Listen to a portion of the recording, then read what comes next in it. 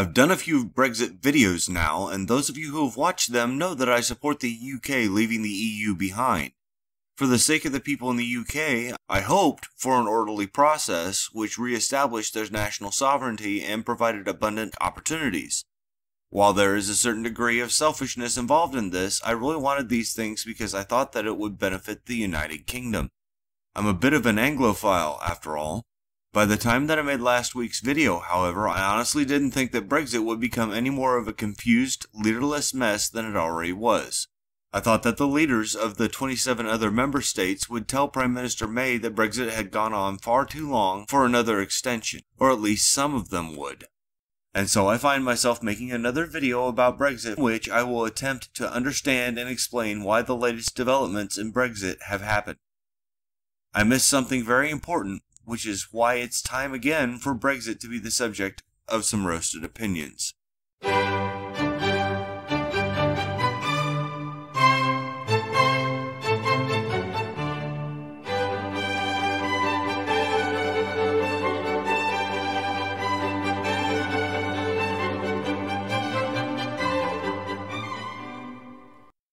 The bombshell came out late on Wednesday for me. The emergency summit of leaders, during which Theresa May sat outside the room awaiting their decision, voted to grant the UK another extension to their deadline for Brexit. If the UK votes in members of the European Parliament, then they have until Halloween to sort out their issues with Brexit, agree to a deal, and have an orderly, soft Brexit. If the elections aren't held, then the UK will have to leave on the 1st of June. Naturally, President Tusk also suggested that the UK could always rescind their Article 50 letter if they vote in a new set of MEPs. Clever clog, that Tusk. He always finds a way to remind the UK public that the EU will welcome them back, no questions asked, if they only demand that the UK Parliament rescind that letter. After all, it's not the public's fault that Parliament didn't adequately prepare them for Brexit nor was it their fault that David Cameron unwisely asked them if they wanted to remain in the EU on that ill advised referendum, right? No, those millions of UK voters couldn't possibly know what they wanted because they didn't know how difficult Brexit would be. Tusk is counting on this resonating with UK voters and for UK voters to pressure their parties to demand a second referendum. His message is working too. The unrest over Brexit has been a drag brake on UK economic growth in a time when the US economy has experienced significant gains. While manufacturing jobs have started to return to the US, UK manufacturing jobs have remained largely stagnant. Her Majesty's loyal opposition has continued to declare Brexit a shambles, to demand that control over Brexit negotiations be ceded to the House of Commons at large, to demand a second referendum be held, and always, always that May concede that she hasn't a clue how to proceed and resign, which would likely provoke parliamentary elections and a possible rise of a Corbyn government. In America, we call these sort of machinations politics as usual, meaning that the politicians have little regard for what needs done for their country and their constituents. No, the acquisition of more political clout is much more important in politics as usual than addressing real issues and finding real solutions which might require real bipartisan cooperation and real compromise.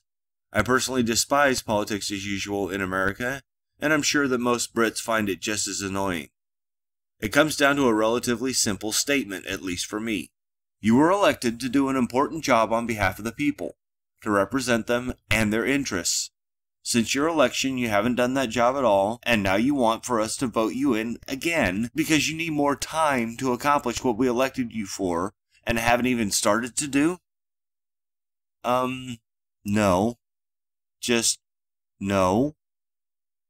That's how I, as an American outsider, see the mess in the House of Commons. May's government, which rose out of the ashes after the referendum gutted Cameron's mandate, has spent more time ignoring his obligation to negotiate Brexit in good faith to worry about acquiring political power.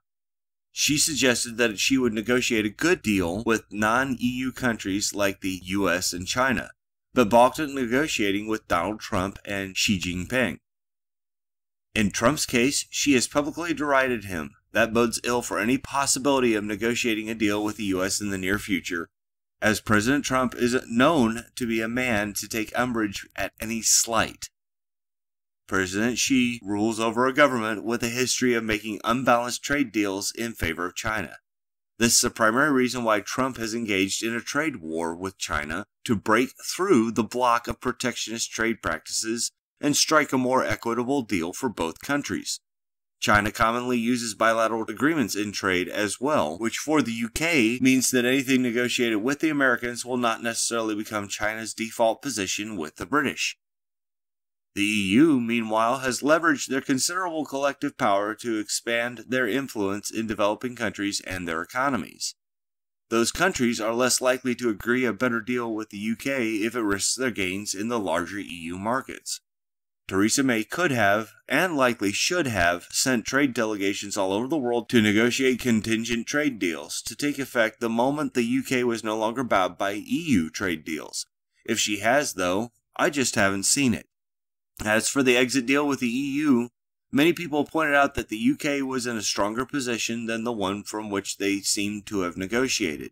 May's government has forgotten that the UK represents 15% of the EU economy that the trade balance between other EU member states and the UK was in favor of those other states, and that the goods which the UK needs to purchase from outside sources can come from other sources than those in the EU. Say, for instance, the US and China, which would be happy to gain more market access in the UK for their trade goods in exchange for more access to trade goods from the UK. The weak point in all of this is the service based nature of UK economy, of course, while manufacturing in the UK has stalled for decades, the primary exports of Merry Old have continued to be services, and the primary markets for those services have been in the EU. The US has a strong services component to its own economy, and the services the UK offers are of much less use in China, which jealously guards its own domestic interests in this sector.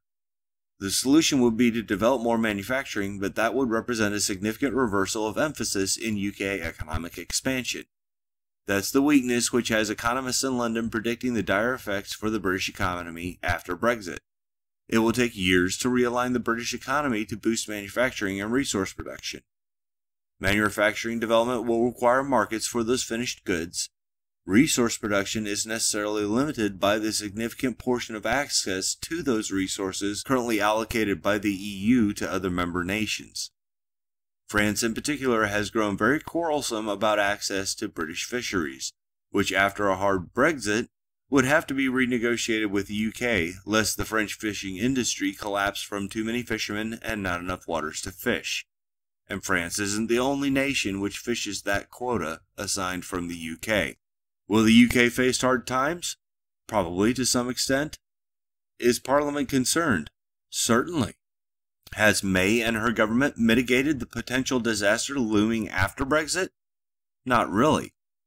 So is Jeremy Corbyn, the leader of the opposition, poised to correct it? No, he isn't. And that's the real problem. Corbyn is a socialist whose approach to every issue comes from an ivory tower. He is less interested in real solutions to problems than the eventual victory of his ideology and the aggregation of political power in the hands of the Labour Party. The opposition is expected to challenge the government on matters of policy, but they are also expected to come up with effective countervailing proposals to present in debate when the government has taken a misstep. Corbyn's proposals, however, are at odds with his positions during the Brexit referendum and make him look absurd. We need to vote leave has given way to we need to vote again. He has spoken out repeatedly, saying anything to jog the government's collective elbow as they attempt to undo decades of economic entanglement, just so long as it weakens the Tories and their hold on government. The Scottish National Party has opposed everything to do with the UK government all along the way. As a regional party, they were never going to take power in Parliament. However, they effectively control the devolved government in Scotland and want Scotland out of the UK. If the government was protecting Remain, then Ian Blackford would have wagged his finger and shouted, That's not good enough at Theresa May, intimating that Scotland would leave the UK because they wanted out of the EU. Since the government is protecting leave, however, he weekly reminds Commons during PMQs that May's attempts to manage Brexit are shambolic and demands that Scotland be granted another referendum on remaining in the UK. Never mind that Scotland is one of the two monarchies united in 1706, nor that Her Majesty is Queen of England and Scotland both by right of birth. The Democrat Unionist Party is the counterbalance to the opposition which guarantees that the Tories can remain in government. They are another regional party, this time from Northern Ireland, and their great issue is that the Good Friday Accords be maintained. This is a critical issue to them, as is their sovereignty as members of the UK. Their neighbor to the south is a member state in the EU in their own right, which complicates matters quite a bit there. Not to mention that Sinn Féin, an Irish political party found in both countries, believes that the reunification of Ireland as a nation independent of the UK is inevitable. Therefore, anything which concedes power to the EU concedes power indirectly to the Republic of Ireland, making several issues associated with Brexit also issues which affect the border between Ireland and Northern Ireland, and therefore issues of the Good Friday Accords. This has raised a general lack of support within the DUP for the deal which May brought back from Brussels, further weakening her position in Commons and especially on Brexit.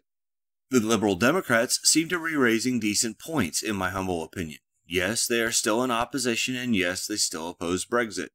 But from what I've gathered, their positions have been consistent. Honestly held dissent without changeability is an honorable part of the political process. The Lib Dems have supported European integration for as far back as I can determine. Yet their opposition to Brexit has underpinned a more transitory nature of the positions of Labour and the SNP. It's unfortunate, in my opinion, to sully legitimately held opposition with political machination, and all too common. So what happens now that an extension has been granted? Theresa May possibly has a new lease on life in 10 Downing Street if she can mediate between the deal Parliament wants and the deal the Executive Council wants and find a good compromise. Alternately, with the extension seen as betrayal of Brexit, the hard Brexiteers may raise enough opposition to oust her. The extension certainly isn't popular, as what was given was much longer than many members of Parliament wanted her to get from the EU. Perhaps new elections could be triggered as well, which would likely see the return of UKIP to Parliament and even complete the rise of a Corbyn government. For my part, I believe that Corbyn in any position of authority is as grave a mistake as allowing May to continue dithering and stalling her way through the extraordinary mess that is Brexit. The Tories and Labour both need new leadership. I believe that May is on her way out, and soon, but Labour won't make any changes without a change in the balance of power in Commons. Ideally, that would mean the resurgence of the Lib Dems as the principal opposition party. Rationally, though, it would mean a Labour government just like the ones which swept Cameron into power through their own sheer incompetence. Now imagine that. Jeremy Corbyn exiting the front door of 10 Downing Street as Prime Minister to speak with the press. God save the United Kingdom.